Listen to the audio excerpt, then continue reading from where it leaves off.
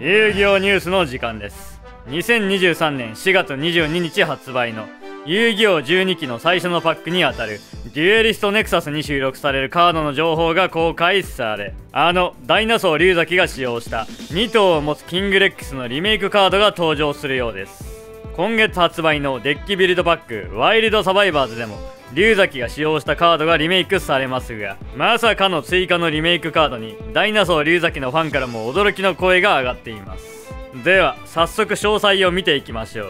2頭を持つキングレックスのリメイクカード。その名は相当竜キングレックスです。レベル6の恐竜族モンスターで元はレベル4でしたがイラストやステータスが原作をベースとしたものになっています。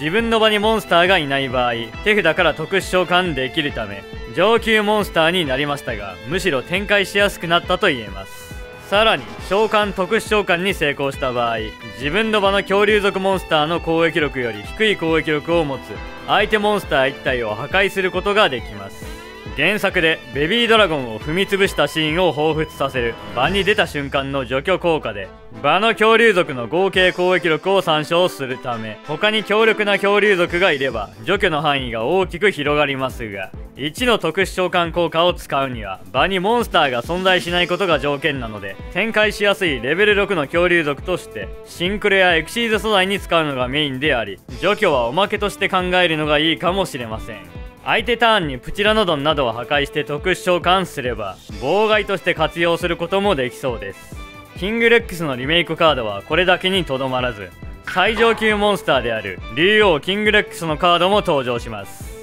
レベル9の恐竜族モンスターで攻撃力は元のキングレックスの2倍である3200相手モンスターを戦闘で破壊した場合もう一度続けて攻撃ができるなど頭が2つある部分が効果に反映されているようです。2つ目の効果では召喚反転召喚特殊召喚されたターン以外に相手の場のモンスターを2体まで破壊する起動効果を使用できます。相手ターンのエンドフェーズに新登場するトラップカード超越転生でキングレックスを蘇生し次のターンに2体除去から2回攻撃が決まれば1体で相手の盤面を崩しきるパワーを持つカードと言えます。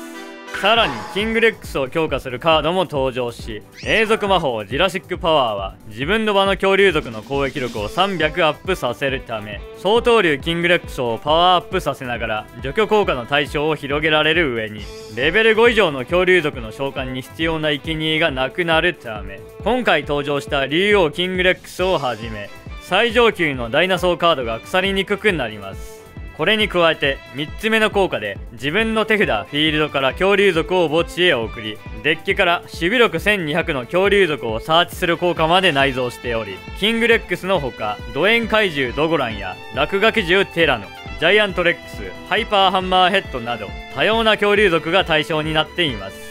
恐竜族サポートでおなじみの進化薬にも新カード超越進化薬ベータが登場し手札フィールドから恐竜族モンスターを含むモンスター2体をリリースしてリリースしたモンスターの合計攻撃力以上のレベル5以上の恐竜族をデッキエクストラデッキから特殊召喚する効果を持ちます。恐竜デッキでの採用が多い。究極進化薬とは異なり召喚条件を無視しないためアルティメットコンダクターティラノなどの特殊召喚モンスターは出せませんがエクストラデッキまで対象が広がっているのが特徴で超越竜の融合やシンクロモンスターのほかダイナレスラーやダイノルフィアを特殊召喚するのも面白いかもしれません。アルゴザウルスで進化薬をサーチしつつ攻撃力ゼロのアルゴザウルスと適当なモンスター1体をリリースすれば広範囲の恐竜族モンスターを少ない手間で降臨させられるでしょう。さらに最初期のエクシーズモンスターであるグレンザウルスのリメイクカード魔刀法グレンザウルスも登場し元がランク3だったのがランク4になっています。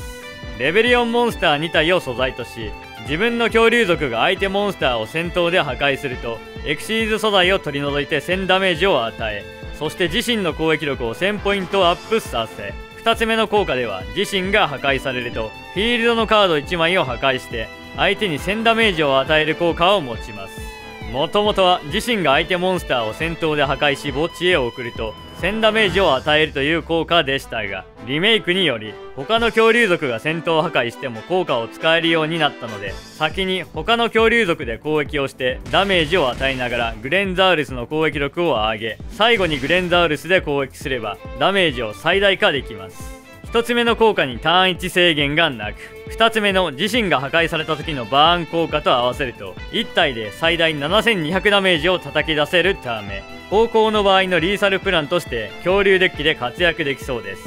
ダイナソー龍崎を代表するキングレックスのリメイクにグレンザウルスのリメイクなど懐かしいカードが形を変えて登場するのはベテランのデュエリストにとっては嬉しい限りでしょう。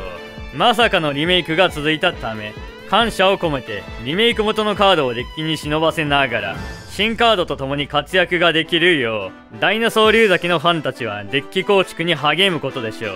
う。以上遊戯王ニュースの時間でした。